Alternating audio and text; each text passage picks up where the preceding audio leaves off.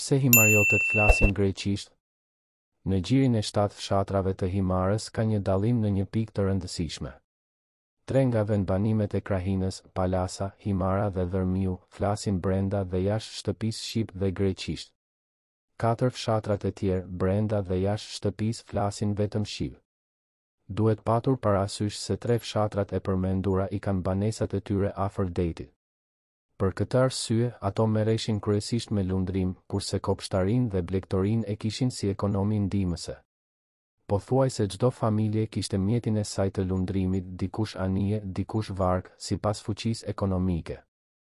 Banorët e katër fshatrave të tjerë, Vuno, Qeparo, Kudhës dhe Pilur, me banesat e tyre në kodrina, larg buzës së dejtit, nuk merreshin me ndonjë përjashtim me detari, pra nuk kishin mjete lundrimi. Ata merreshin me kopshtari, blegtori dhe me emigracion. Si rrjedhim, sa herë që krahina e Himarës bëhej pre e fushatave ushtarake osmane, familjet e fshatrave kodrinore ngarkonin mbi kuaj teshat e shtëpisë dhe së bashku me familjet dhe bagëtitë e tyre strehoheshin përkohësisht në krahinën e Kurveleshit. Përkundrazi, banorët e tre fshatrave të buzëdejtit, meqenëse nuk i merrnin dot anijet në krah, pasi ngarkonin mbi to familjet dhe orenditë e domosdoshme, lundronin në viset që nuk ndodheshin nën sundimin turk, në ishujt greke jonianë, Korfuz, ose në brigjet italiane të Puljes dhe riatdhesoheshin nganjëherë edhe pas disa vitesh, kur largohej rreziku turk. Këto largime të përkohshme do të na shpjegojnë depërtimin e greqishtes dikur, sikurse e pohojnë vetë krerët himariot në një letër të tyren të vitit një mijë e shtatëqind e pesëdhjetë e nëntë, edhe të italishtes, tek banorët e tyre. Sot në përgjithësi edhe historiografia shqiptare pranon se banorët e këtyre tre fshatrave, ndonëse jo të gjithë, e njohin greqishten.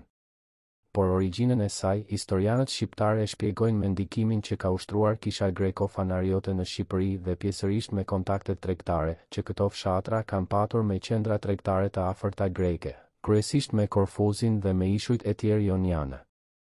midis historianëve shqiptarë dhe atyre grekë ka pikëpamje të kundërta në tre drejtime.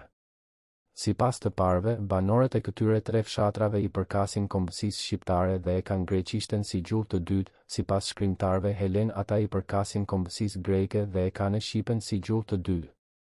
E dyta, sipas të parëve idioma greqishte e këtyre tre fshatrave ka depërtuar nga jashtë në kohët e vona, sipas të dytëve ajo është me origjinë mesjetare, madje antike.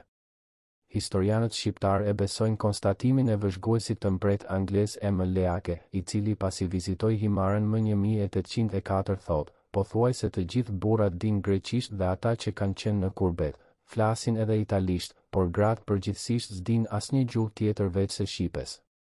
Të dytët nuk e kanë kundërshtuar me argumente pohimin e M. Leake, i cili e thotë shkoqur se greqishtja në kohën e tij nuk ishte gjuhë familjare. Nga Kristo Frashëri.